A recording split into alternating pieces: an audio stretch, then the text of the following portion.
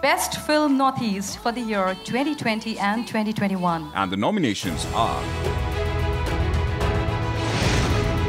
Baka mas nguti ang balit sayang na na yung 11 niya nga.